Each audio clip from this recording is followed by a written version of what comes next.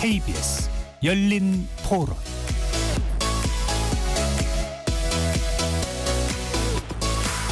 안녕하십니까 KBS 열린 토론 배종찬입니다. 지난달 25일 서울시 의회는 서울시 학생인권 조례 폐지 조례안을 가결시켰습니다. 폐지가 된 거죠. 지난해 서희초 교사의 안타까운 사망을 계기로 교권 침해에 대해 우리 사회에 큰 화두가 던져졌고요. 그후 교실 붕괴 원인 중 하나로 학생 인권 조례가 꼽히게 됐습니다. 때문에 해당 조례가 시행 중인 지자체에서는 폐지, 개정 움직임이 일어나고 있던 시점이었는데요. 서울시에서는 조례가 폐지된 겁니다. 어제 조희연 서울시 교육감은 학생 인권의 기반이 처참히 무너졌다며 대법원 제소 및 집행정지 신청을 통해 학생 인권 조례의 효력을 유지시키겠다라고 반발하기도 했는데요. 어, 정말 학생 인권이 교실 붕괴의 원인인지 학생 인권과 교권이 공존할 방안은 무엇인지 오늘 진단해 보겠습니다. KBS 열린 토론 지금부터 시작합니다. 치열한 토론 속에서 더 나은 세상을 찾아갑니다. 올바른 세상을 만드는 첫 걸음. 평일 저녁 7시 20분 KBS 열린 토론. 오늘 토론 함께 해주실 네 분 소개합니다. 학생 인권 조례가 필요하다는 의견을 가진 어, 분들을 먼저 소개해드립니다. 강혜성 서울 학생 인권 조례 지키기 공대위 집행위원장 나오셨습니다. 반갑습니다. 우필호 서울특별시 교육청 학생인권교육센터 학생인권 옹호관 함께하고요. 네, 반갑습니다. 이번에는 학생 인권 조례를 폐지해야 한다는 의견을 가진 두 분입니다. 육진경 전국 교육회복교사연합 공동대표 자리하셨습니다. 얼마 전까지는 중학교 어, 교직에 계시기도 했습니다. 네, 반갑습니다. 지영준 법무법인 저스티스, 저스티스 변호사 나오셨는데요. 어, 지 변호사는 충남 학생 인권 조례 폐지 무효 확인 소송 소송 대리인을 맡기도 했던 분입니다. 예, 반갑습니다. KBS 열린 토론은 시민분들과 함께하고 있습니다. 문자로 참여하실 분은 샵 9730으로 의견 남겨주실 수 있습니다. 단문 50원 장문은 100원의 정보 이용료가 붙습니다. KBS 모바일 콩과 유튜브를 통해서도 무료로 참여하실 수 있는데요. KBS 1 라디오의 모든 프로그램은 유튜브에서도 함께 하실 수 있으니까요. 많이 들어와서 구독해 주시고 좋아요도 보내주시면 좋겠습니다. 자 오늘 네 분과 본격적인 토론에 들어가기 전에 학생 인권 조례를 시민분들은 어떻게 어, 바라보고 있는지 먼저 들어보고 오겠습니다. 교권이 너무 바닥으로 떨어졌다 이런 말들도 있고 주변의 얘기를 들어보면 지금 학교 선생님들이 애들을 조금 혼내거나 뭐에 대해서 지적만 해도 학부모들이 아니 왜 우리 애한테 그런 거 얘기하냐 그러면서 항의하는 전화 빗발치고 여러 가지로 그래서 진짜 학교 선생님들 하기 어렵다. 요새 그런 얘기들 많이 들었거든요. 그러다 보니까 애들도 같이 그게 그렇게 되는 것 같거든요. 글쎄요. 학생 조례 사항이 얼마 구체적으로 어떻게 되는지 정확하게는 모르겠어요 모르겠으나 그런 게 더 강조된다라고 하면 선생님들 교육하기가 너무 힘드실 것 같긴 해요. 학생의 인권을 보호하는 건 좋아요. 그러니까 인권조례 어쨌든 학생들의 인권을 보호하고 법의 테두리 안에서 이제 그렇게 처벌을 할 수 있고 너무 심하게 아이들한테 그렇게 한다고 하면 근데 그거는 의도는 좋은데 이게 다 악용이 되다 보니까 그러니까 만용을 한다 그래도 나는 다 보호할 수 있고 나는 형사 미성년자고 뭐 이런 식으로 하면서 정보를 너무 많이 받고 있기 때문에 이 현재 상태에서는 조금 제한을 할 필요성이 저는 있다고 생각을 해요. 인권조례가 선언적인 내용만 필요한 거지 너무 구체적으로 하는 거는 그다지 바람직하지는 않다. 교권이 인권보다 더 앞서야 되는 게 맞다고 생각해요. 저는 그냥 아이들 교육할 때까지는 어느 일정 부분은 필요한 부분이 있긴 해요. 왜냐하면 그게 또 없다면 저희 세대처럼 너무 무시한다. 그리고 선생님들 그 개인적인 기분 에 따라서 태도가 변하는 그거는 없어야 되기 때문에 인권조례도 또 필요한 부분이 있기도 하다고 생각이 또 들기도 해요. 근데 그 이상을 넘어서면은 굳이 저렇게까지 또 필요한가 그런 생각이 또 들기도 하거든요. 학생의 인권과 교권과 같이 존중받는 사회가 됐으면은 참 좋겠어요. 제 개인적인 바람입니다. 시민분들의 의견 어떻게 들으셨는지 학생 인권 그리고 교권 찬반이 엇갈리고 있는데요. 먼저 두 분 말씀 먼저 어, 들어보겠습니다. 서울시가 학생 인권 조례를 제정한 지 12년 만에 어, 폐지했는데요. 서울시의 학생 인권 조례 폐지. 자, 어떻게 생각하시는지 먼저 강혜성 위원장 말씀 듣고 육진경 대표 말씀도 들어보겠습니다. 네. 어, 작년 12월에 서울 학생인권 조례 주민 청구안에 대해서 김영기 의장이 수리 발의한 것을 두고 그 효력을 정지해서 현재 위법성 여부를 따지고 있는 중이었어요. 근데 갑자기 서울시 의회에서 인권 특위에서 조례 폐지를 앞장섰습니다. 어, 인권을 향상시키는 것이 아니라 외려 반인권적인 결정을 한 것에 대해서 저는 상식적으로 좀 이해가 가지 않고요. 저희가 25일 날 기자회견을 서울시 의회 본관 앞에서 했을 때 서울 학생 대상으로 서울 학생 인권 조례에 대한 인식 조사 결과 발표를 했습니다. 1254명의 학생들이 참여했고요. 83%의 학생들이 학생 인권 조례는 유지되어야 한다고 답했습니다. 저는 지금 저출생이 지금 심각하지 않습니까? 예. 그런데 정부는 저출생 반등을 말하면서 어, 미래 세대 아이들의 의견을 듣고 있지 않다고 저는 생각을 합니다. 그래서 학생 인권 조례는 학생들을 넘어서 학교 구성원 모두에게 꼭 필요한 정책이기 때문에 서울시의 결정을 저는 받아들이기가 힘듭니다. 강 위원장님 방금 전에 말씀하신 그 설문조사를 어디에서 언제 네. 했는지를 말씀 좀 해주시면 네네네. 저희 학생 어, 서울 학생 인권 조례 지키기 공대위에서 4월 한 15일부터 6월 한 15일까지 두 달여간에 서울시 초, 중고 그리고 특수학교 그 학교 밖 학생들을 대상으로 저희가 설문 조사를 실시했습니다. 네, 예. 알겠습니다. 관련된 자료를 또 확인은 할 수 있을 것 같고요. 육 대표님.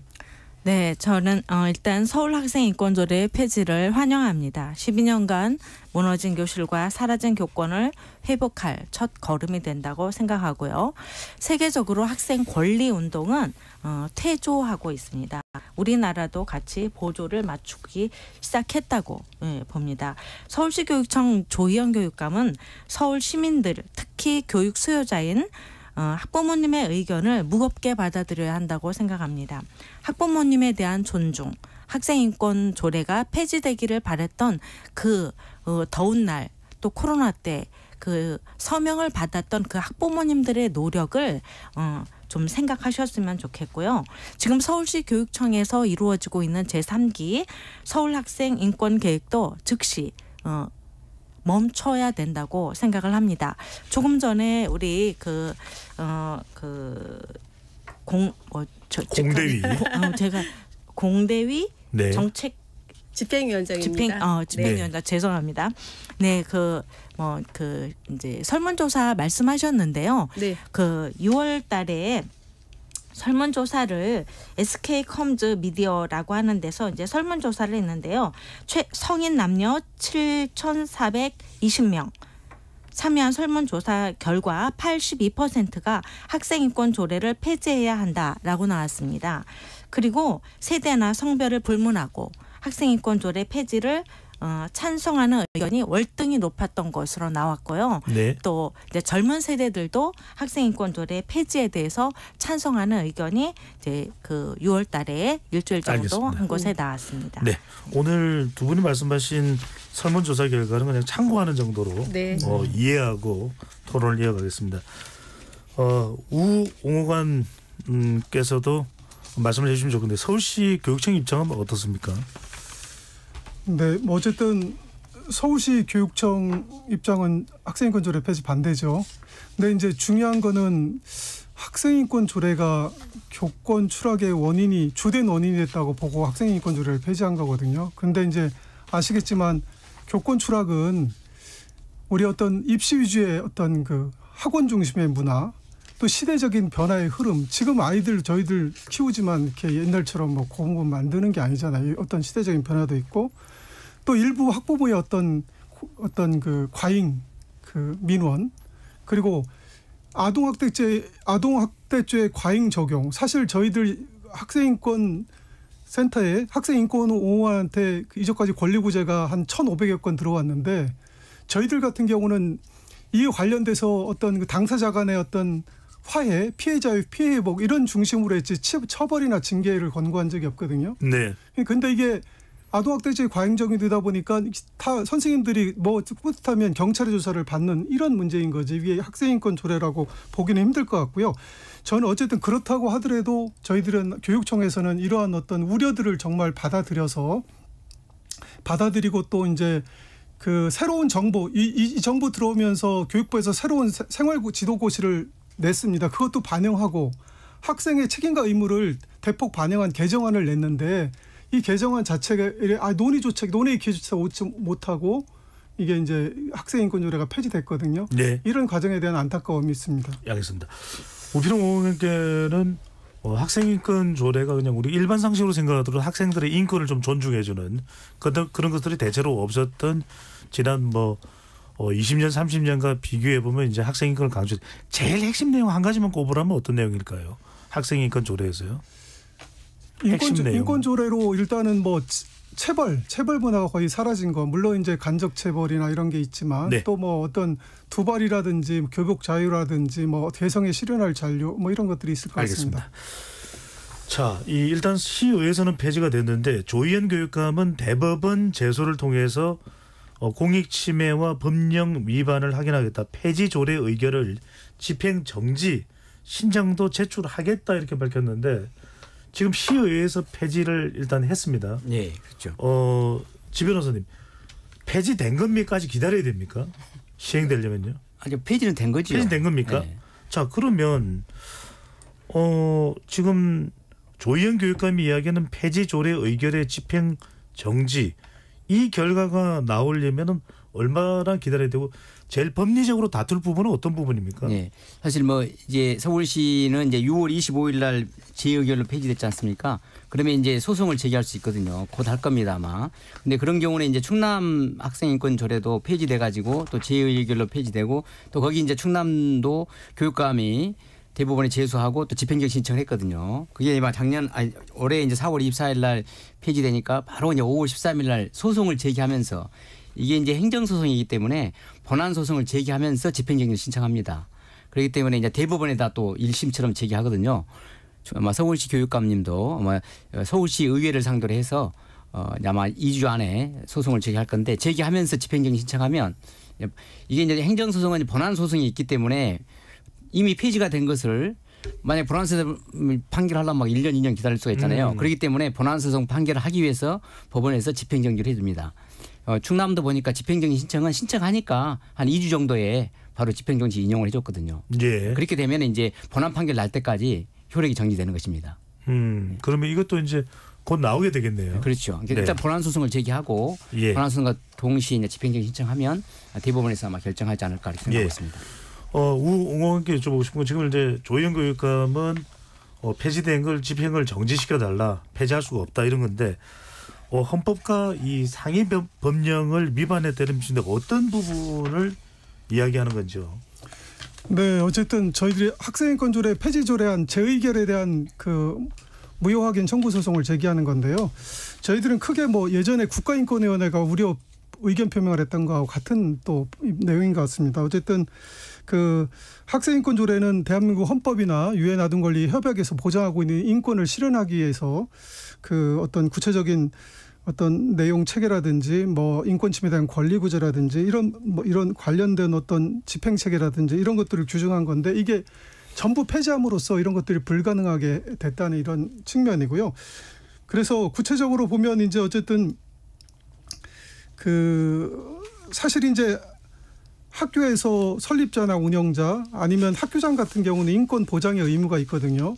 이런 이런 부분들을 할 수 있는 어떤 근거가 사라진 거죠. 그러니까 학교에서 학생 인권 보장을 할 수 있는 이런 것들이 무력화됐다는 것이고요. 또 한 가지는 조금 전에 제가 이제 유엔의 아동 권리 협약을 예를 들었는데 이 위반과 관련된 겁니다.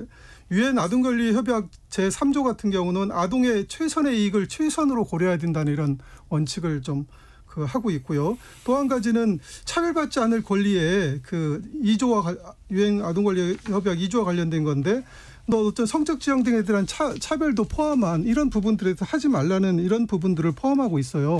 그리고 이 저희들이 아동 유엔의 아동 권리 협약에 가입했기 때문에 이 이거 이거는 국내법적 효력을 갖고 있고 이런 어떤 이행의 의무 이런 것들을 위반한 것이고 이거는 국제적인 이후에도 문제가 될 거라고 좀 보여지고요. 또 한 가지는 저희들이 뭐 어쨌든 성 여기 조례 폐지 근거로 성적 지향이나 성별 정체성은 사회 사회적으로 합의되지 않은 항목이 항목 하, 합의되지 않은 항목이다 이렇게 주장을 하는데 네.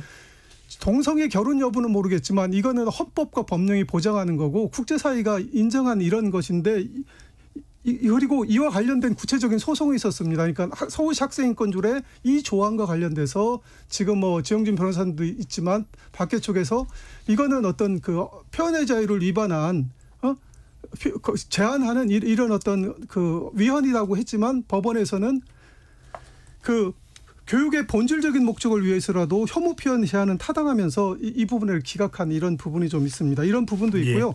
디테일하게는 사실은 이 그 주민 발의로 아까 그 이제 육진경 대표님이 말씀하셨지만 그 몇 몇 몇 몇 명이요? 3만 명 3만 몇 명이라고 했나요? 어떤 주민 발의하신 거 주민 폐지 조례안. 아, 그 여기 한 8만이 6만 넘죠. 아니 아니 그저 유유는 그렇게 유유는 그렇지 않습니다. 유유는 한 6만 몇 네. 명이요. 네. 6만. 예. 사실은 학생인권 조례도 9만여 명의 어떤 주민 발의로 된 거고요. 예. 그게 중요한 게 아니라 주민 발의로 됐고 시의회가 받아들여서 이 폐지 조례안을 논의하는데 아까 말씀드렸듯이 법원이 이건 현저히 공익을 침해할 우려가 있다고 해서 집행 정지를 했어요. 알겠습니다. 정리를 근데, 해주시죠. 예. 네. 편- 근데 편법을 이런 것들이 어떤 이 기속력이 유지되는데 편법으로 그냥 하- 하루 만에 그 인권특위라는 국힘위원 주도로 해서 이렇게 폐지된 건 문제고요. 예, 알겠습니다. 또, 예. 네. 지 변호사님, 예. 이 어, 우홍원께서 길게 얘기를 해주는데 정리를 해보면은 상위법인 뭐 유엔 같은 이런 어, 내용에도 유엔의 어, 아동 인권에도 협, 협, 뭐 조약에도 이런 것들이 나와 있고 그렇다면은 이것을 폐지할 것이 아니다. 음. 그리고 어 그래서 어 지금 폐지하는 것을 집행 정지하기 위해서 어 서울시에서 내려고 하는 것이다. 또 뭐 부분적으로 바꾸면 될 텐데 그런 것에 교권에 이 위배가 되는 것이 또는 있다면 근데 그걸 전면 폐지한 것은 안 된다 이런 주장을 하시는데 어떻게 보시는지요? 사실 우리가 이제 학생인권조례를 전면 폐지했다 이렇게 생각하시는데요. 그렇지 않습니다. 학생인권조례를 대체하는 학교 구성원의 권리와 책임에 관한 조례를 만들었거든요. 그래서 거기서 이제 학생인권만이 아니라 학교의 구성원인 학생, 교사, 학부모가 상호 조정할 수, 권리를 갈등을 조정할 수 있는 그런 대체 법안, 대체 조례를 만들었습니다. 지금 이제 우리 표로 어, 센터장님께서 말씀하시는 헌법이나 학- 아동 권리 협약에 상위 법령이 있는데 어, 학생 인권 조례를 폐지하면 그런 법률에서 어, 규정하는 교육감의 학생 인권 보장 의무가 어, 훼손되는 거 아니냐 이렇게 생각하시는데요. 전혀 그렇지 않습니다. 학생 인권 조례가 폐지되더라도 그대로 헌법이나 아동 권리 협약에서 보호하고 있는 아동 권리는 그대로 남는 것입니다. 특별히 이제 학생 인권 조례를 문제 삼는 것은 사실 교사가 이제 국가 공무원이지 않습니까? 국가 공무원인데 학생 인권 조례를 만들면 지방자치 조례로 교사를 불러서 조사하고 징계를 요구할 수 있다. 이런 것이 법 체계적으로 안 맞는 것이죠. 그렇기 때문에 저희들이 이제 폐지를 주장한 것입니다. 알겠습니다. 짧게. 하시죠. 네. 네. 지금 이제 대체 조례로서 학생 그 학교 구성원의 책임과 의무에 관한 조례를 말씀하셨는데 거기에는 그 어떤 교원의 직무상 권한이 일부 들어 있고 그리고 학생의 인권 인권 관련된 것들이 일부가 들어 있고 이 이거 자체가 뭐냐면 조례를 잘 읽어보면 알겠지만 학교 구성원 간의 갈등을 조정하고 관리하는 이런 내용이고 학생 권리 구제에 대한 조항이 일제 없습니다. 절차가 사라졌고 여기는 민원 대응팀 학부모의 민원을 대응하는 민원 대응팀을 두도록 하고 있어요. 근데 이런 것들이 어떻게 대체 조례가 될 수 있는지 그리고 중요한 거는 그뭐 그런 대체 조례가 있어서 학생인권 조례를 폐지한다면 똑같이 교원 지위에 관련된 조례가 있습니다. 굉장히 강화된 거 교육 교육청에서 동의를 해서 찬성을 했었고요. 네. 이 조례는 새로 신설했거든요. 이 그러면 이것도 폐지 폐지해야 되는 게 맞지 않습니까? 근데 이런 것들이 앞뒤가 좀 안 맞는다 이렇게 생각합니다. 알겠습니다. 저기 우피로 잠깐만요. 예. 강혜성 위원장께 먼저 좀 여쭤보겠습니다. 네네. 어 2010년에 학교 학생인권 조례가 이제 처음이 제정됐는데 네, 네. 어 아까 이제 우옹호가는게 여쭤보긴 했습니다만 이게 폐지되지 말아야 되는 그래서 학생 인권이 보호되기 위해서 꼭 있어야만 되는 그런 관련되는 내용은 어떤 거라고 볼 수 있는지요? 그러니까 학생 인권 조례가 왜 만들어졌는지에 대한 배경이 좀 아셔야 될 것 같아요. 그러니까 2010년도 그 오장푼 사건이라는 게 언론에 크게 보도가 되었습니다. 어, 교사가 어쨌든 초등학교 교사님인데 어, 학생을 때렸는데 애가 어떻게 맞았는지 날아갔다 해서 오장풍 뭐 이런 식으로 네. 이제 소문이 났었는데요. 어, 그걸 계기로 해서 서울시 교육청에서 어, 학교에 체벌 금지하는 것을 이제 권장을 했습니다. 그 당시 제가 그 저희 딸 중학교 이제 학교 운영위원이었습니다. 그러니까 학교 현장 굉장히 혼란스러웠습니다. 어, 갑작스럽게 체벌도 안 되고 뭐 이런 조항들이 이제 하라고 시행하라고 하니까 그럼 학생들을 어떻게 관리하지 하는 이런 부분이 있었죠. 어, 근데 그 당시 어, 교, 학교는 어, 학생 중심이 아닌 교사 중심이 학교였기 때문에 교사의 말 한마디, 손짓 이런 것들이 어, 학교를 자주유지하고 학생들은 숨지기고 이렇게 어떻게 보면 살아갔습니다. 어, 그러니까 하루아침에 이렇게 문화가 바뀌는 게 아니지 않습니까? 어, 인권은 교문 앞에서 멈춘다는 책도 있습니다. 그렇기 때문에 저희 학부모 단체, 교사 단체, 인권 단체 등이 학생 인권 조례 제정 운동 본부를 만들었고요. 어, 서울 곳곳 25개 자치구를 돌아다니면서 그때 이제 당시 서울 시민 1% 이상의 이제 그 서명을 받아야 되는데 8만 어 1,855명을 넘어야 되는데 그때가 저희가 한 10만 명을 넘겨서요. 어 주- 학생 인권 조례 주민 발의를 할 수 있게 되었습니다. 이렇게 어렵게 만든 주민 발의입니다. 현재 어 주민 조례 폐지 청구안을 하셨던 이분들도 주민 발의를 하셨지만은 대다수의 특정 종교인들이 많이 참여하고 계십니다. 그리고 제가 어떤 이야기를 들었냐면은 네. 제가 교회 갔는데 어, 서명지를 주면서 무조건 서명하라.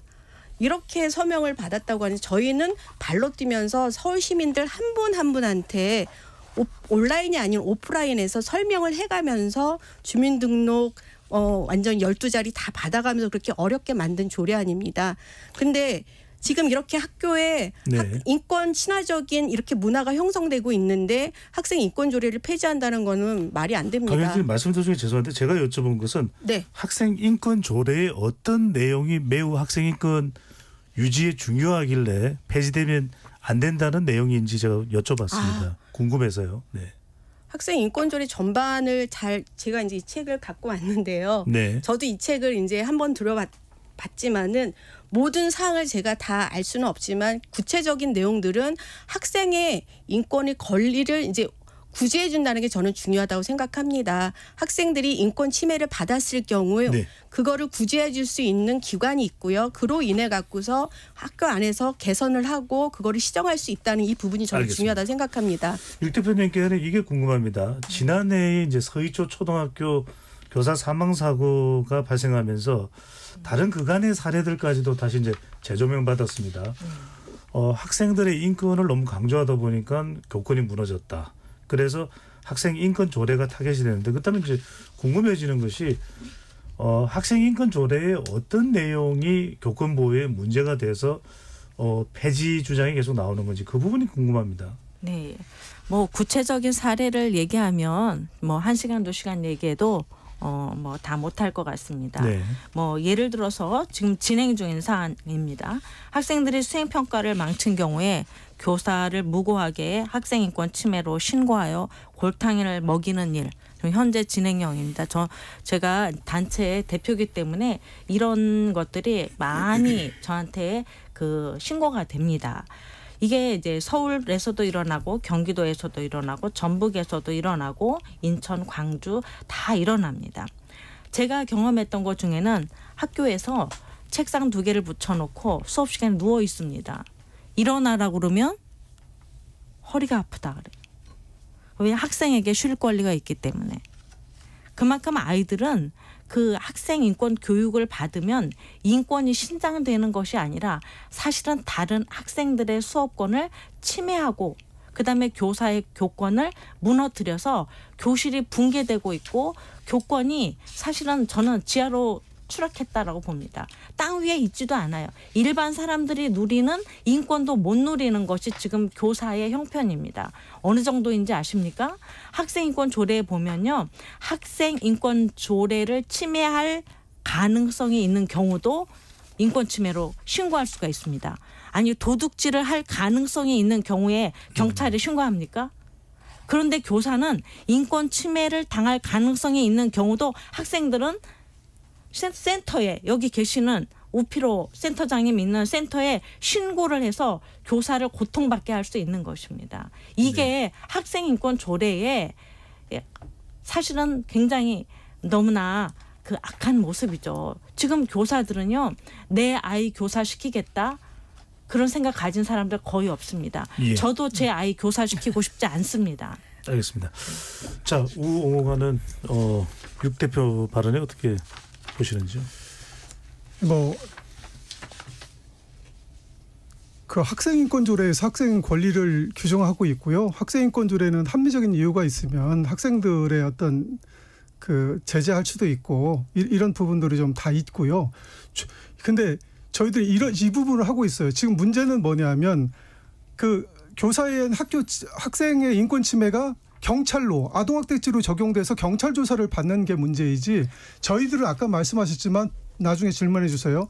저희들 들어오면 학교의 인권 친화적인 학교로 가기 위해서 주로 피해자의 피해 회복이나 화해 중재 재발 방지 대책 위주로 갑니다. 그래서 아까 말씀드렸듯이 뭐 이게 사실과 다른 주장도 있었지만 저희들이 사실상 징계를 권고할 수 있지만 한 번도 징계를 권고한 적이 없어요. 징계 받았습니다. 네, 네. 저는 그리- 그리고 2017년 뭐냐면- 5월에 징계 그리- 받았습니다. 서울시 교육청에서 아 선생님 제 얘기할 텐데. 받은 적이 없다고 아까도 말씀하셨잖아요. 선생님, 그 말씀하시죠. 비록 옹호가 말씀하시고 육 대표께 기회 드리겠습니다. 네, 지금 육 대표님과 관련돼서 좀 할게요. 저희들이 사실과 다른 얘기를 하고 있어서 교육청도 고민을 했는데 그 육 대표님이 하, 하신 거는 뭐냐면 어쨌든 그 성교육과 관련된 동성애 성교육과 관련된 건데 사실 학교에서는 그러니까 학, 교육부의 학교 성교육 표준안이 있고 이 지정된 성교육 담당 교사가 해야 되는데 그리고 각 학교에서는 성교육 연간 계획을 짜서 해요. 근데 이제 그렇지 않은 국어 시간에 했었던 것이고 그래서 아이들이 이 부분에 대해서 혐오스럽다 이런 이런 인권 침해 들어가서 조사를 했던 거고요. 저희들 권고를 가져왔습니다. 권고 내용이 저희들이 조 학생 인권 옹호관의 권고 내용이 뭐냐면 두 가지를 말씀드릴게요. 피해 신청인을 포함한 전 교직원 대상으로 학생 인권 주제 연수 조치, 그 밖에 동일하거나 유사한 인권 침해 재발을 위한 필요한 조치. 그냥 학교에서 조치하도록 했지 여기 처벌에 대한 내용이 없거든요. 그리고 나중에 저희들이 통 우리 저희들이 그 권고한 거는 학생인권 그 교육센터의 홈페이지에 다 나와 있습니다. 저희들이 징계를 권고한 걸 찾아가지고 있으면 저희들한테 말씀해 주세요. 그때 네. 구두 사과 권고로 그 중등교육과장님이 저희 학교를 방문해서 저를 따로 불러서 구두 사과 권고를 직접 했습니다. 네, 그, 그 그분 성함도 말씀드릴 수 있습니다. 아니 그거는 그죠. 그거는 다른 그건 다른 것이 아니고요. 그다음에 국어 교사가 왜 제가 동성애에 대해서 얘기했냐면은 벌써 그 전에 국어 시간에 토론 수업을 많이 했습니다. 여러 가지 주제로. 네. 그 가운데 아이들이 보충으로 수업을 해달라. 그래서 학년 말 모든 것이 다 끝난 다음에 사실에 입각해서 아이들에게 정보를 제공했을 따름입니다. 알겠습니다. 지금 성교육이나 인권교육이나 어떤 한 사람이 하는 게 아니라 전 교과에서 하지 않습니까? 국어교사가 다루지 못할 주제가 뭐가 있습니까? 그건 말이 안 되는 거죠. 센터장님이 잘 모르시고 지금 말씀하시는 거예요. 잠깐만요. 잠깐만요. 잠깐만요. 네. 잠깐만요. 네, 제가 죄송합니다. 잠깐만요. 나오신 분들의 어, 패널 관련된 이야기를 할 건 아닐 것 같고요. 네, 네. 자, 집 변호사께 여쭤보고 싶은 거는 제일 우리가 지금 중요한 것은 학생 인권 조례를 폐지하고 그 폐지하는 이유는 교권 보호를 위한 것이다. 그래서 궁금한 것은 지금 네 분의 의견을 듣는 것은 학생 인권 조례와 교권 보호 차원에서 충돌하는 부분이 지점이 어디냐는 걸 제가 궁금해서 여쭤보는 겁니다. 네. 네. 계속 말씀하지만 사실 학생 인권 조례라는 인권 침해 또 학생 인권 하면은 조례에도 몇 개 규정이 돼 있지만 조례에 열거되지 않은 학생 인권도 다 보호한다 돼 있습니다. 그리고 사실 인권 그러면 얼마나 범위가 넘습니까? 아까 계속 아동 학대 이렇게 말씀하셨지만 정서적 학대보다 훨씬 넓은 게 인권 침해거든요. 근데 인권 침해라고 뭐 아까 방금 말씀하신 것처럼 어, 육진 선생님 말씀하신 것처럼 학생이 자고 있는 거 깨우는 것도 실권리 침해다. 이렇게 해가지고 하면은요 진정 제기하면 어떤 내용은 진정이 되게 되면 이따 옹호관은 진정이 들어왔으니까 조사를 하게 되는 것이죠. 사실 이제 아까 이제 조- 아주 중요한 말씀이에요. 학교의 문제를 전부 경찰로 가져간 건 말이 안 됩니다. 사실은. 그런데 지금 그것도 또 그렇다고 해가지고 학생이 인권 침해라 가지고 전부 다 그걸 또 학- 교사를 조사하게 하는 것도 또 말이 안 되죠. 특별히 이제 제가 가장 오리했던 것은 학생 인권 오관에 따라서 조사받는 게 지금 이제 뭐 공고만 하고 뭐 이렇게 말씀하셨지만 사실 제가 이제 학생 인권 조례를 이 반대하게 된 것은 2017년에 전라북도에 이 송경진 교사님이 있습니다. 교사. 네. 송경진 교사가 학생 인권 오관에 조사 받으면서 자살했거든요. 왜냐하면 경찰에서 무혐의 혐의 없으면 다 했는데도 4개월 동안 계속 불러가지고 조사하다가 너무 지쳐가지고 사실 순수하게 선생님들이 언제 조사 받아봤겠습니까? 계속 모욕적으로 성희롱 했냐 어떠냐 이렇게 물어보니까 한 4개월 조사 갔다가 결국 목숨을 끊으셨거든요. 그때 제가 보면서 아, 이 학생 인권 조례는 결국 교사를 죽이는 것이구나 이렇게 생각하면서 저희들이 반대하고 있는 것입니다. 혹시 뭐 옹호기 사실 말씀 있습니다. 네.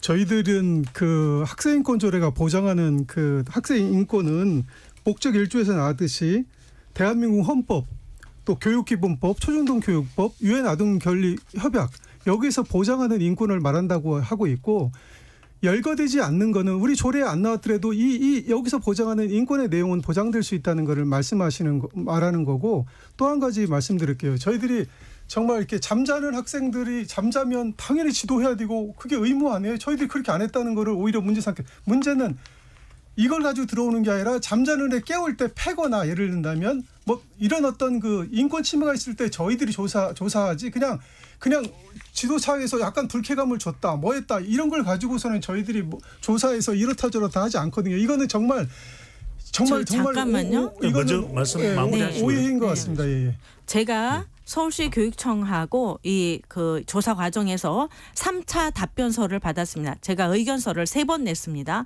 그리고 답변을 세 번 받았는데 3차 답변서에 제가 학생 인권을 침해했을 것으로 보이는 부분이 뭐였냐?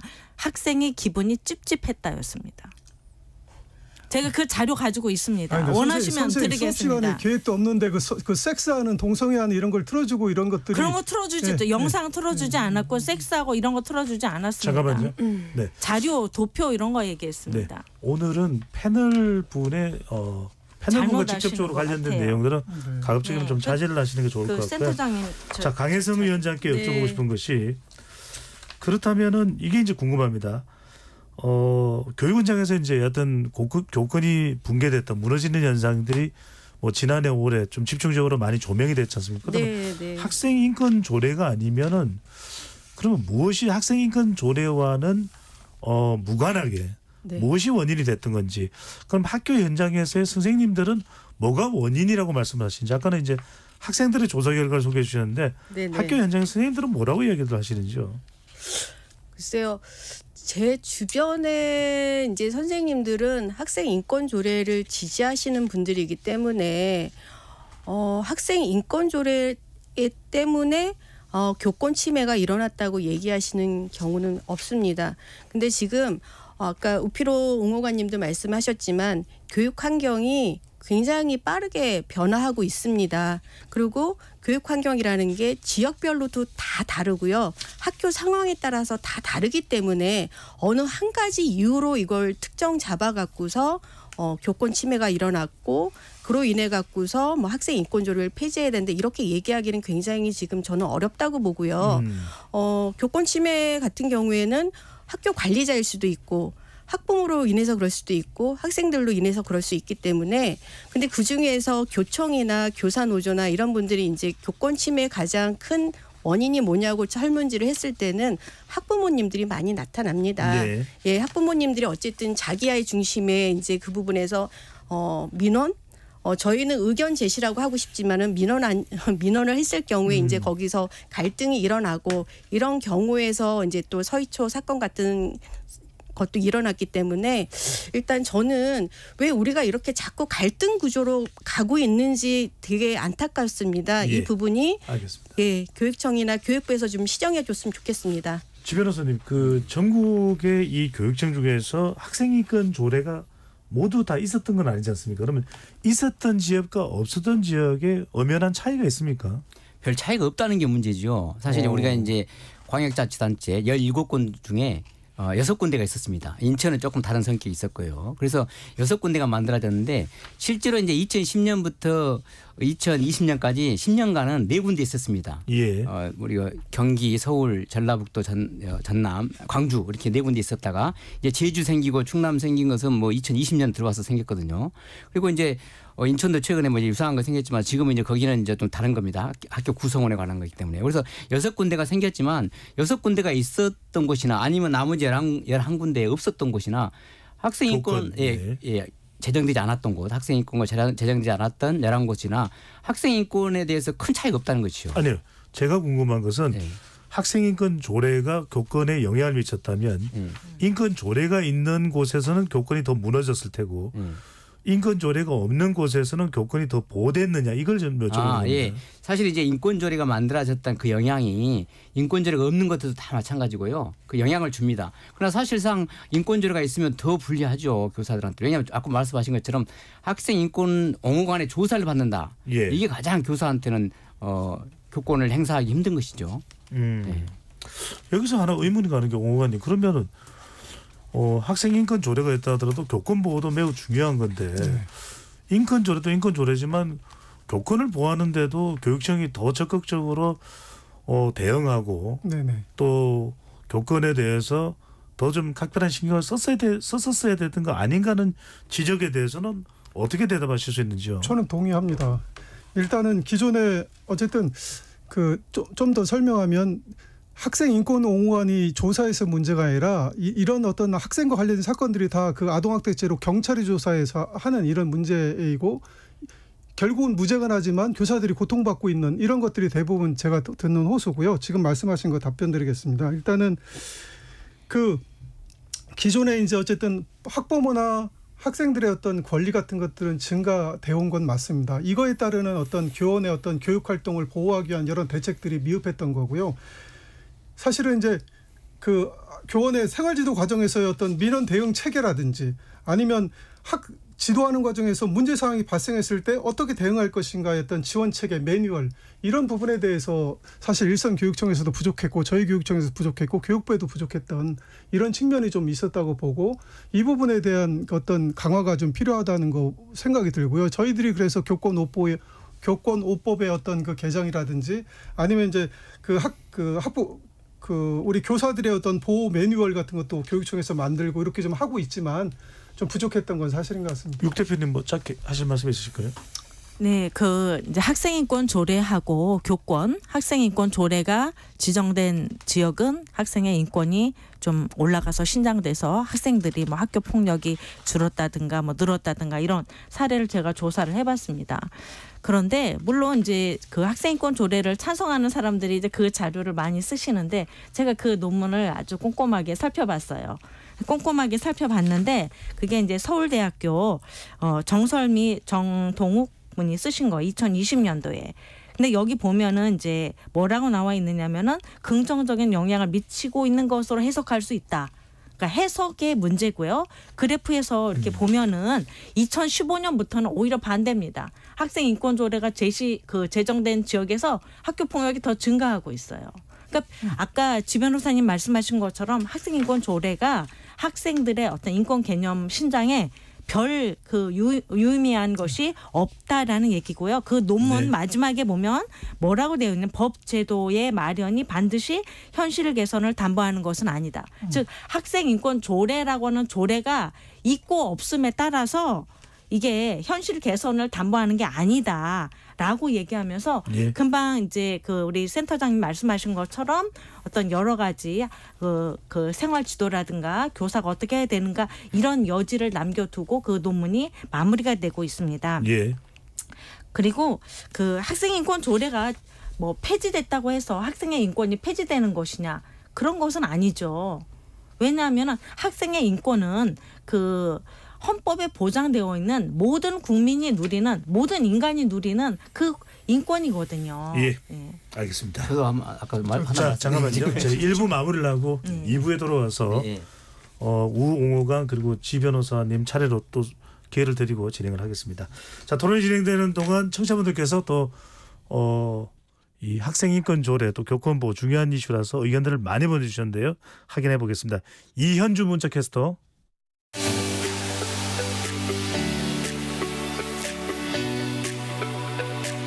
네, 지금까지 청취자 여러분이 보내주신 문자들 소개합니다. 7640님, 학생 인권도 중요하다지만 서울시의 교권이 우선되어야 된다고 봅니다. 도대체 교권이 얼마나 추락되어야 합니까?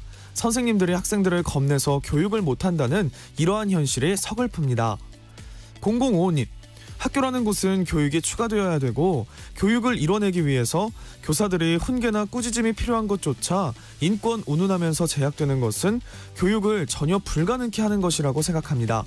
미성숙한 학생들이 학생 인권 조례를 잘못 받아들이고 있는 현실도 한몫하는 것 같은데요.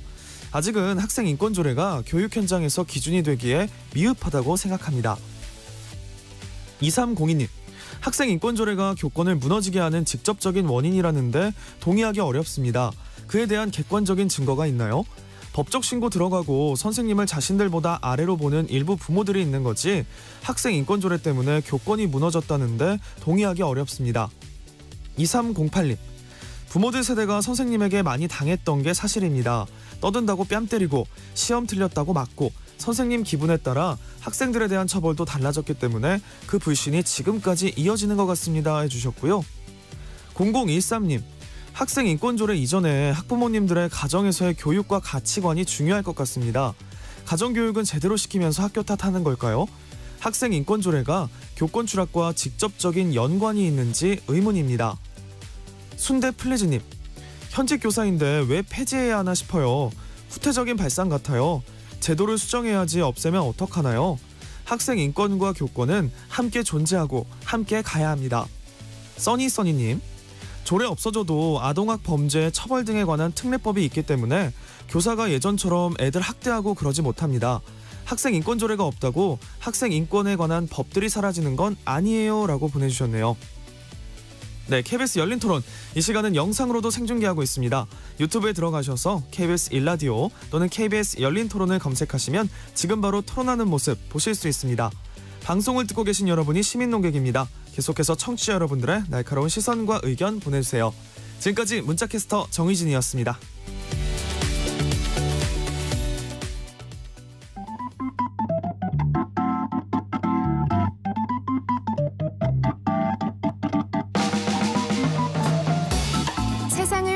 질문 열린 토론이 시작합니다.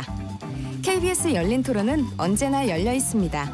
단문 50원, 장문 100원의 유료 문자 샵9730 그리고 KBS 어플리케이션 콩으로 여러분의 의견을 남겨주세요.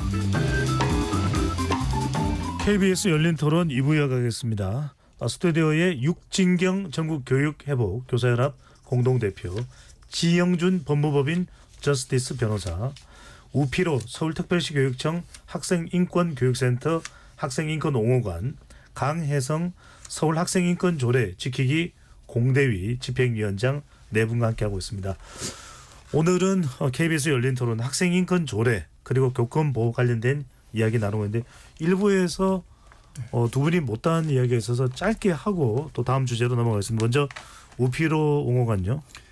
네, 일단 먼저 아까 그 뭐 육진경 대표님이 그 수업 시간에 동영상 틀어줬다는 거 제가 착오한 것 같아요. 죄송하고요. 네. 네. 다만 저희들이 이제 그 조치한 거는 연수 이런 조치였다는 거는 어쨌든 변함이 없는 것그 같은데. 구두 사과 네. 권고는 그 중등교육 과장님이 그거는 아마 이제 저희들이 권. 권고하는 부서고. 장학지도 부서가 장학 활동한 것 네, 같아요. 그리고 네, 네, 그 네, 네, 결과가 네. 그렇게 네. 구두사과 권고로 제가 구두를 네. 받았습니다. 예, 이야기는 저희들이 권고문이 제가 있어서 그 권고문은 예. 못 받았고요. 네, 제가 교육청으로부터 구두사과 네. 권고라고 저는 그렇게 들었습니다. 알겠습니다. 이야기는 여기서 마무리하시죠. 네, 네. 그리고 한 가지는 아까 통계와 관련돼서 저는 뭐 지영준 변호사님이 말씀하신 거에 동의합니다. 지금 어 김병욱 이제 2020년도에 국, 국회 김병욱 의원이 그 어쨌든 그, 그 확보한 자료 2016년에서 2019년 달이 시도별 교권 침해 현황 요 자료를 분석한 언론 보도 자, 자료에 의하면 아까 그 재영진 변호사님 얘기했듯이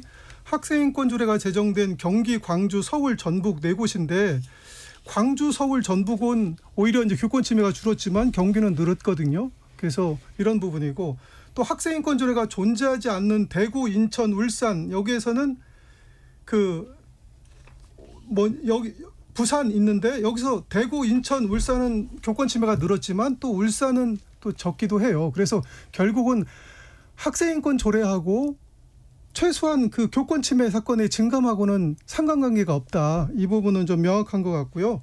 그리고 한 가지는 뭐 아까 육진경 선생님 대표님이 얘기했지만 또 다른 한편은 이게 있어요. 지난 5월에 그 김범주 교사 출신의 국회 입법조사관이 그 1만 9천여 명의 어떤 설문조사 자료를 분석해서 한 연구의 결, 결과에 따르면 학생인권이 존중되면 교권도 존중된다는 어떤 이런 학술 연구가 있어 있거든요. 어쨌든 그러나 이거는 우리가 더 검증이 필요한 것이고 다만 결론은 여기서 의견 차이가 없는 거는 학생인권 조례 유무 이것이 교권 침해 유무하고는 무관하다. 네네.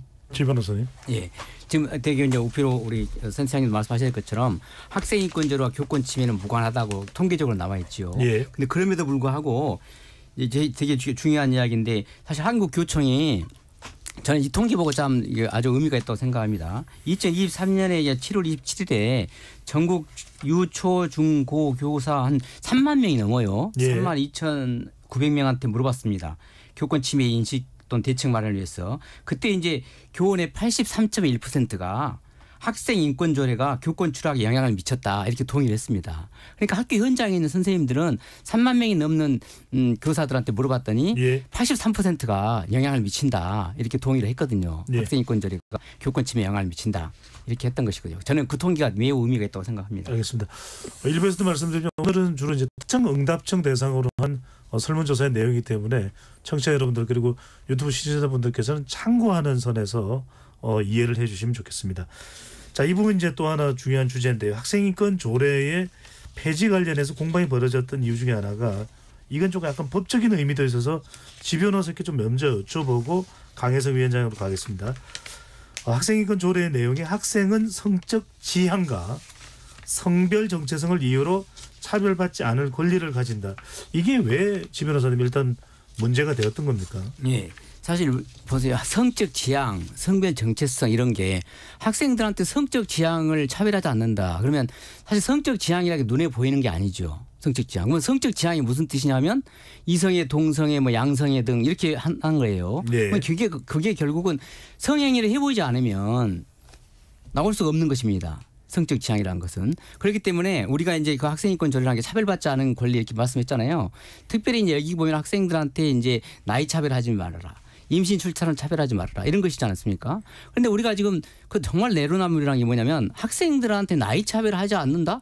누구도 못 지키죠 그건. 자기 부모가 키우면서 유시, 유초, 유, 뭐야, 유치원, 초등, 중, 고 다 나이 차별하고 있잖아요. 음. 그리고 나이 차별을 하니까 우리가 미성년자를 제도를 두고 있고 또 임시 출산 이런 것도 있어요. 사실 보세요. 우리나라가 학생들한테 그 혼인 제도를 인정하지 않는데 임시 출산을 했어요. 그러면 그 아이는 누구의 가족 출생 신고를 누구한테 한다는 거예요? 학생한테 합니까? 할머니한테 합니까? 할아버지한테 합니까? 있을 수 없는 것을 차별금지 사회에 넣어놓고 지키려고 하니까 네. 이것도 도대체 지킬 수 없는 학생인권 조례다. 이 차별금지 사회는 네, 네. 그런 것이죠. 자, 지 변호사님 의견까지 의견까지 포함해서 얘기를 해주셨습니다. 조금 더 제가 추가를 해서 말씀드리면 이 조항이 성적 지향을 차별 차별받지 않는다. 어, 누구나 어떤 이유에서든 처, 차별받으면 안 된다는 이제 보편적인 개념을 어, 학생인권 조례에 포함을 했던 것인데 그러다 보니까 이제 학교 현장에서 성소수자가 늘어나거나 성 정체성에 대한 적극적으로 고민을 하는 어, 그런 이 학생들이 생길 수 있다는 것도 임신과 출산을 하게 되는 학생에게 학교가 그럼 어떻게 해야 되는 것인가라는 부분이 이제 부각이 된 건데 강혜성 위원장님 이게 네. 어, 논란이 되는 부분 그리고 어, 강 위원장님 의견은 어떠신지요? 저는 항상 그 폐지해야 된다고 하시는 분들이 아 아까 성적 지향이나 어 뭐 임신 출산 이 부분을 말씀하시는데 저는 이렇게 지금 시대가 변화하고 있는데 지금 텔레비전 프로그램에 고딩 엄빠 이런 프로그램도 있고 굉장히 어 저희가 생각하는 것보다 그런 성적 지향점에 대한 것들은 개인적인 상황이기 때문에 우리가 이런 이야기 하는 자체도 인권 침해라고 하는 어, 그런 의식이 굉장히 높아진 상황이거든요. 근데 오늘 토론의 자리에서도 여전히 성소수자, 성정체성 이런 이야기를 하는데 이런 것들이 법으로 뭐 정하고 규제할 수 있는 걸까? 개인적인 음. 상황인 거잖아요. 기- 개인의 은밀한 이런 부분인데 늘어났다. 이런 근거는 어디서 어떤 통계를 가지고 얘기할 수 있는지 저는 좀 외려 더 묻고 싶습니다. 네. 예. 어, 강 위원장님 말씀하신 고딩언빠는 한 채널에서 방송되는 네, 네. 어. 고등학생인데 어, 아이를 출산한 엄마와 아빠와 관련된 이야기를 다루고 있는 프로그램이고 육 대표님. 네. 제가 좀 이제 우리 센터장님이나 어, 그 우리 강혜승님께 여쭤보고 싶은 건요. 학생은 서로 동의하면 성관계를 할 수 있습니까? 네. 도, 학생이 서로 동의하면 합의하면 성관계를 할 수 있습니까? 글쎄 그거를 왜 그렇게 물어보실까요? 왜냐하면요. 학생은 유치원부터 시작이 돼요. 만 36개월.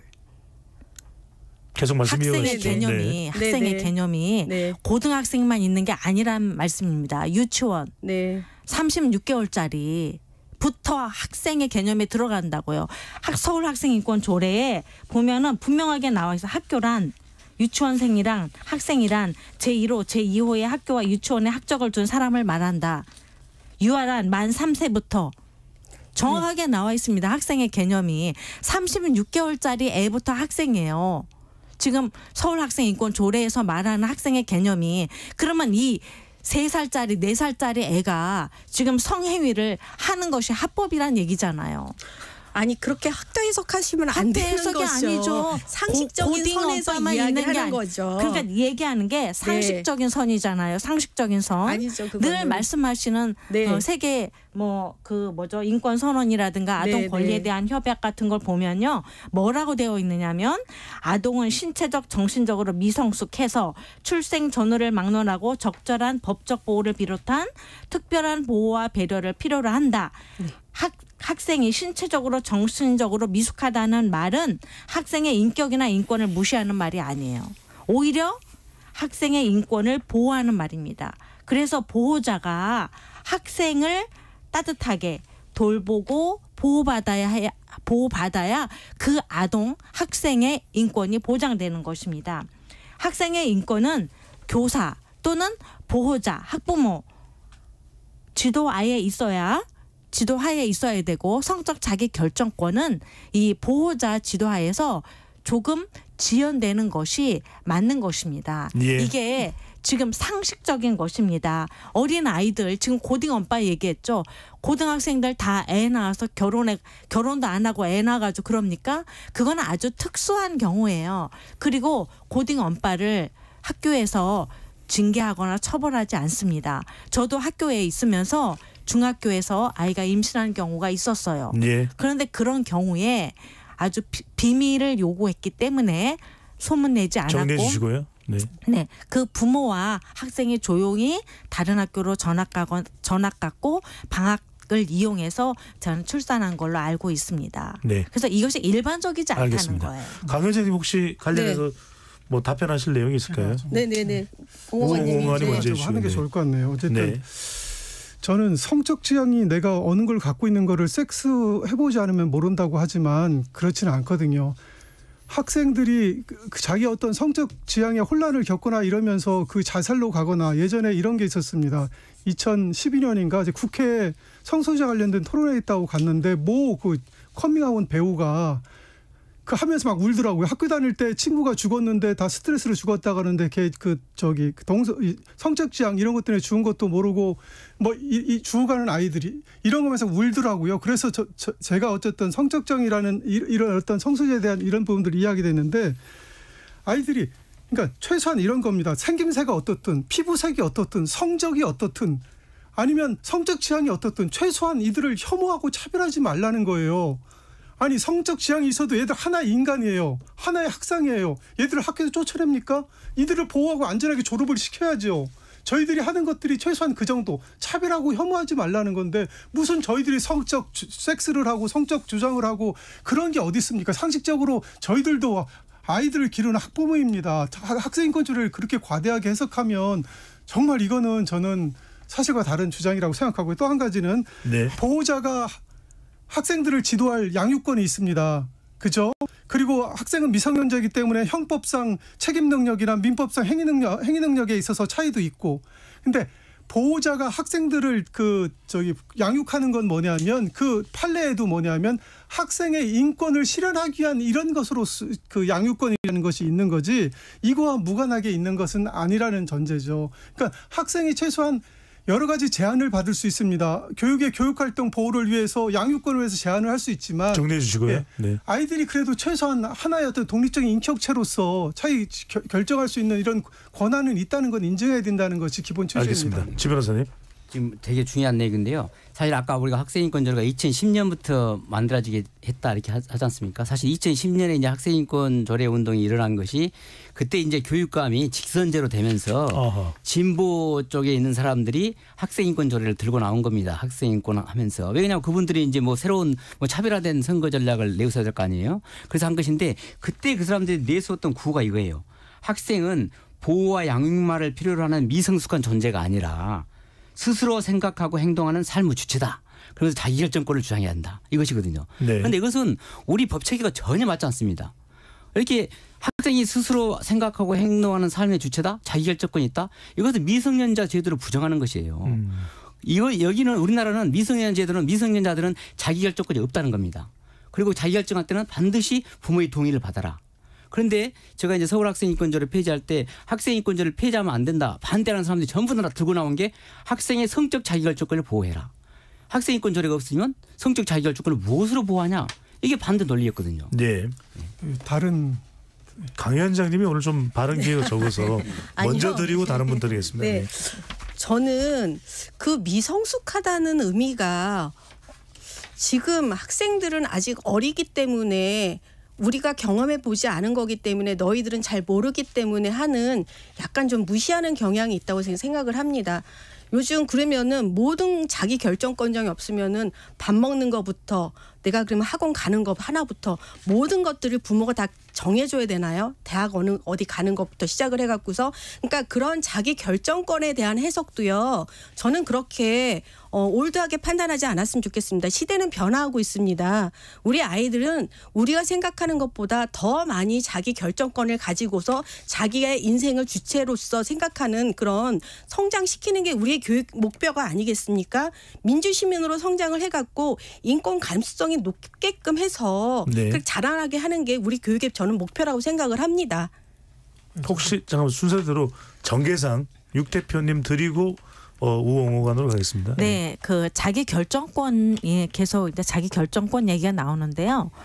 그 학생이 자기 결정권 가질 수 있는 거 뭐 밥을 먹을 수 있다, 운동할 수 있다 이런 건 있지만 마음대로 거주 이전의 자유가 없습니다. 다 부모가 가지고 있는 거죠. 그리고 학교에서 학교 폭력 일어나면 누가 옵니까?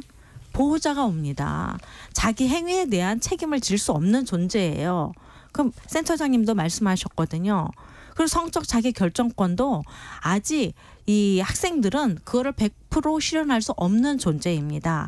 그런데 이제 뭐 예를 들어서 성적 지향 같은 경우에 동성애 그다음에 예를 들어 가지고 소아성애 인정할 수 있습니까?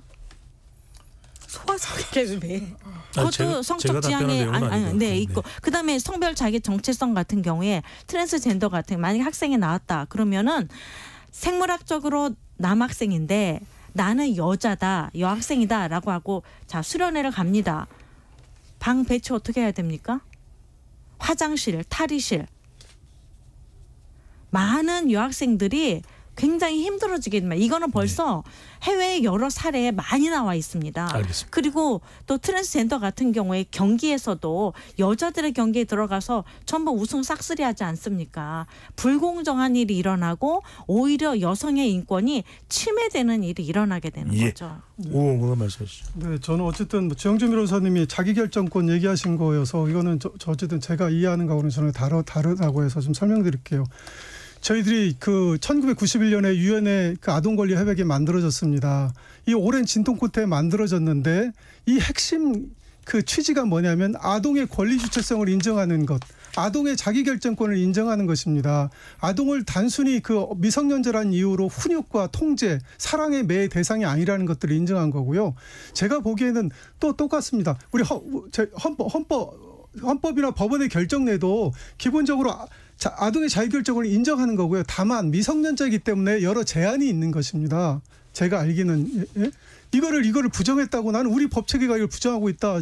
저는 이 부분에 대해서는 이제 동의하기 힘들고 제가 아는 부분에서는 그렇지 않다고 좀 보는 거고요. 네, 요 정도로 좀 얘기를 하겠습니다. 알겠습니다. 자 시간이 이제 많지 않았어요. 요거 주제 하나 이야기하고 우리가 사실 마무리 들어가야 돼서 여쭤보겠습니다. 자 이제 중요한 건 학생 인권 조례를 그럼 폐지하면은 교권이 보호가 되느냐 그런 것만도 아닐 겁니다. 그래서 학생 인권법을 다시 뭐 만들자는 이런 논의도 있고 또 교권을 강화하기 위한 어, 법안들도 좀 논의가 되고 있고 또 한편으로는 어 뭐 아동 어 이 교권 보호법, 교권 보호법이 통과가 됐습니다만 아동관계법 관련된 부분이 사실은 더 개정이 필요하다 이런 목소리도 아동 복지법상의 이런 부분들의 개정도 나오고 있습니다. 자 일단은 중요한 게 학생 인권도 좀 존중되면 좋겠고 교권 보호도 어, 존중되면 좋겠고 이게 어떤 법적 제도적 보완이 가능할까요? 먼저 지 변호사님부터요. 사실 이제 가장 중요한 게 학생을 이제 우리가 이 학생 인권 조례나 이런 것도 아동복지법이나 이런 거 보시면요. 학생이라는 게 인권을 보장하는데 학생이 인권을 보호받는 존재냐 아니면 학생이 인권을 적극적으로 행사하는 존재냐 이게 되게 중요하거든요. 예. 방금 우리 오피로 어, 센터장님 말씀하신 것처럼 아동 권리협약 잘 이야기하셨어요. 근데 아동 권리협약의 5조에 뭐라고 되어 있냐면 아동이 이 협약상에 인정되는 권리를 행사할 때는 행사할 때는 반드시 부모나 법적 책임자의 지도와 감독을 받아야 되고 이것을 국가가 보장을 하는 것입니다. 그러니까 아동 권리협약에는 여러 가지 권리가 있어요. 그러나 권리는 보호한다는 것이지 학생이 행사할 때는 반드시 법적 보호자의 지도와 감독을 받으라는 것이다. 음. 이게 가장 중요한 겁니다. 그래서 이게 학생인권전에는 보호받는다는 거하고 학생이 적극 행사하는 건 다른 것이다. 그리고 학교에서 학생 인권을 보호하는 사람은 누가 하겠습니까? 교사가 보호하죠. 근데 학생 인권을 보호하는 사람을 침해했다고 신고해버리면 그럼 학생 인권을 누가 보호하는 거예요? 이런 문제가 가장 있기 때문에 그 교사의 교권과 학생 인권자가 충돌하지 않는다는 건 그런 내용입니다. 교사의 교권은 학생 인권을 보호하는 것이지 학생 인권을 침해하는 것이 아니다. 제가 이렇게 말씀드리고 싶습니다. 네, 강혜성 위원장요. 네. 어, 저는 지금 계속 그 교권이냐 학생 인권이냐 이런 논란들이 계속해서 언론 보도를 통해서 나오고 학교 현장에서도 마치 어, 학생 인권으로 인해서 교권 침해가 계속됐다는 이런 부분들이 이제는 정설로 되어가고 있는 부분이 되게 안타깝습니다. 저는 어, 교육 주체들이 조금 더 지금 서로 소통하고 어, 논의하는 그런 문화들이 지금 다시 회복되어야 된다고 생각하거든요. 교육 공동체가 지금 회복이 돼서 어, 서유초 같은 안타까운 사건들도 더 이상 일어나선 안 되는 거고 학생 학생들도 학교 안에서 인권을 존중받으면서 학교 학생으로서의 생활을 해야지 되는 거고 학부모로서도 또 역할들도 저는 가정에서 충실히 해야 된다고 생각을 하거든요. 네. 이런 부분들이 지금 정부에서 조금 더 세밀하게 좀 들여다봐야 되지 않을까 하는 생각이 있습니다. 예. 네. 자 마지막으로 이제 어, 네 분이 참 그 고민을 사실은 할 겁니다. 학생인권 조례와 관련해서는 어, 폐지를 해야 된다, 아니다 유지해야 된다 이렇게 의견이 엇갈리지만 사실 우리가 더 근본적으로 따져 보면 학생 인권도 존중하고 교사의 인권, 교권이겠죠. 교권도 보호하고 존중하고 이건 왜 가능하지 못할까? 끝으로 이제 네 분께 여쭤보고 싶은 건 이것이 공존하기 위해서 우리가 가장 좀 어, 초점을 맞춰야 될 부분은 어디인지 이야기를 나누면서 어, 마무리하려는데 어, 네 분 각 1분씩 좀 시간을 드리겠습니다. 그래서 어, 충분히 의견을 좀 말씀해 주시면 좋을 것 같은데 먼저 우리 육 대표님부터요. 네, 그 학생 인권하고 교권이 왜 자꾸 충돌하는 것처럼 그렇게 비춰지고 느껴지고 교실에서 나오느냐 하면은요. 제가 그것을 서울시 교육청에서 직무 연수 받으면서 알게 됐어요. 2018년도에 거기서 뭐라고 하느냐면은 인권에 대해서 칼 막스 레닌이 말한 인권을 얘기하면서 인권은 투쟁에서 얻는 것이다라고 얘기하더라고요. 예. 그래서 학생 인권은 있고 교사 인권은 없다. 여성 인권은 있고 남성 인권은 없다. 성소수자 인권은 있고 성다수자 인권은 없다라고 얘기하더라고요. 그래서 강자에게는 인권이 없고 약자에게 인권이 있다. 음. 제가 이 얘기를 듣고서 이상했던 것이 딱 풀렸어요. 아 이게 계급 투쟁 인권을 얘기하기 때문에 자꾸 교권이랑 충돌이 됐구나. 예. 그냥 보편적인 인권 누구나 다 가지고 있는 인권이라면 학생의 인권과 교사의 인권이 충돌될 이유가 없는 거죠. 그래서 앞으로 지금 이제 국회에 발의되어 있는 학생 인권법도 학생 알겠습니다. 인권 조례하고 똑같습니다. 그래서 학생 인권법 발의하신 분들 빨리 어, 취소하시고요. 선생님들 교권이 지금 추락했는데 예. 교권을 회복시킬 방안을 좀 마련해 알겠습니다. 주셨으면 감사하겠습니다. 네, 우호 의원께서는요. 네, 그 예전에 그 교총에서 이렇게 교권 침해의 어떤 그 누가 했는지를 분석한 그 자료가 있었는데 사실 우리가 학생에 의한 그 학생이 교, 교, 교권 교사에 대한 인권 침해는 한 7% 정도고 교권 침해의 주도한 내용은 오히려 그 교사 간에 아니면 학교 그 저기 관리자 간에 아니면 학부모와 교사 간의 교권 침해라는 거죠. 그러니까 그 교사들은 이, 이 학생뿐만 아니라 어떤 교권 침해의 어떤 열악한 환경에 놓여 있고 또 한 가지는 뭐냐면 교원들이 인권 침해를 당해도 이 권리 구제할 수 있는 게 없어요. 교사들. 이 부분도 해결해야 된다고 생각이 들거든요. 예. 그래서 저희들은 어떤 교원의 인권의 인권 인권 보장, 권리 구제까지를 포함한 모두 학교 구성원 모두를 모두 모두의 어떤 인권이 보장될 수 있는 그런 법률의 제정 음. 뭐 이런 것들이 좀 필요하다고 생각합니다. 아 법률 제정이 필요하다. 강 위원장님. 네. 학교에는 다양한 구성원들이 함께하고 있습니다. 어, 학생들이 민주 시민으로 성장하도록 하는 곳이고 학생들이 있기에 교사분들이 계십니다. 지금의 우리나라를 만들게 한 동력도 저는 교육이라고 생각합니다. 그리고 그 중심에 교사분들의 역할이 컸다고 생각합니다. 음. 다만 그 과정에서 체벌과 같은 수단 등이 학생의 인권을 침해하고 비교육적이기 때문에 학생 인권 조례를 만들었습니다. 이러한 지난한 과정들을 삭제하듯 조례를 폐지하는 것은 저는 좀 아니라고 생각하고요. 네. 예. 그리고 교육 공동체가 다시 회복될 수 있도록 교육 주체들이 지금 어, 논의의 장을 좀 만들어서 각자의 입장들을 충분히 좀 이해할 수 있는 아. 이런 과정들이 좀 필요하지 않을까. 너무 지금 대립각으로 음. 세워서 이분법적으로 인권이냐 교권이냐 하는 이런 부분들부터도 우리가 좀 개선할 필요가 있다고 생각을 합니다. 예. 대화가 필요합니다. 네. 지 변호사님. 사실 이제 인권, 학생 인권 개념은 아까 우리 육진 교수님 계속 말씀했는데 요즘에 예. 뭐 혐오, 혐오 표현 이런 것도 말, 말씀하지 않습니까? 근데 이 사람들 논리가 참 특이해요. 혐오, 혐오 표현은 약자가 강자한테만 혐오 표현이 아니랍니다. 강자가 약자한테만 할 때만 혐오 표현이고 그래서 이제 강자 약자를 나누는 게 요즘의 인권 개념이에요. 예. 소수자 소수자하고 그래서 저는 이제 지금 필요한 것은 왜 학부모들이 교사한테 민원을 제기할까? 교사들이 아이들을 제대로 지도를 못하기 때문이거든요. 그래서 교사에게 교권을 많이 확립해 주고 음. 교 아들을 잘 지도하게 하면 아 부모가 아들한테 아들을 학교에 맡겼으니까 그렇게 되면은 민원을 제기할 일이 없지요. 그래서 저는 교권을 확보해 주는 게 학부모들한테도 좋고 학생도 좋다. 그래서 저는 이제 학교 구성원의 권리와 책임에 절하는 조례를 만들어서 예. 학생 인권을 대체하는 것이 가장 바람직한 방향이다 이렇게 생각하고 있습니다. 알겠습니다. 대화가 필요하다. 네, 문제 해결을 위한 모두의 노력이 필요한 때로 보입니다. KBS 열린 토론 이것으로 모두 마무리하겠습니다. 네 분 토론 고맙습니다. 네. 감사합니다. 지금까지 KBS 열린 토론 배종찬이었습니다.